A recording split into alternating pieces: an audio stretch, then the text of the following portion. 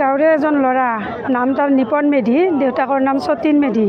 মোৰ ঘৰৰে হয় মোৰ দেউৰ হয়। ইয়াতে মানে এই বল খেলা ফিল্ড এইখন এই ফিল্ডখনত কেইটামান সৰু ল'ৰাৰ লগত বল খেলি আছিল। খেলি মানে এনেই আৰু অলপ ফূৰ্তি কৰি আছিল।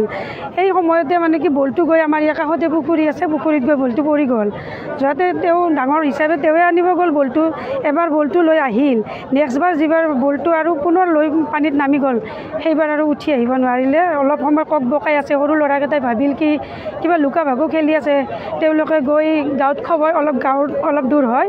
গাঁৱত খবৰ দিয়ালৈকে ইতিমধ্যে সময় দেৰি হৈ গ'ল কিন্তু এই মুহূৰ্তলৈ তেওঁক পোৱাই নাই। গাঁৱৰ মানুহসকলে পুখুৰীত নামিছে এতিয়ালৈ পোৱা নাই। হয় ফিল্ডৰ কাষতে পুখুৰী।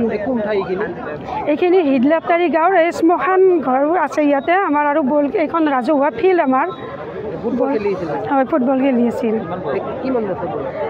মোটামুটি একৈছ বছৰ বয়স তাৰ।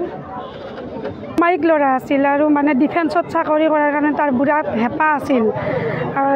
সদায় মানে কি মোৰ ৰাস্তাৰে মানে সদায় ৰাতিপুৱা গধূলি দৌৰে। বি এ পাছ কৰিছে সি এইবাৰ দেউতাকে বিৰাট হেঁপাহ তাকে এম এ পঢ়াব। মাটি বিক্ৰী কৰি হ'লেও এম এ পঢ়াব। মানে দেউতাক খেতিয়ক বিৰাট হেঁপাহ আছিল।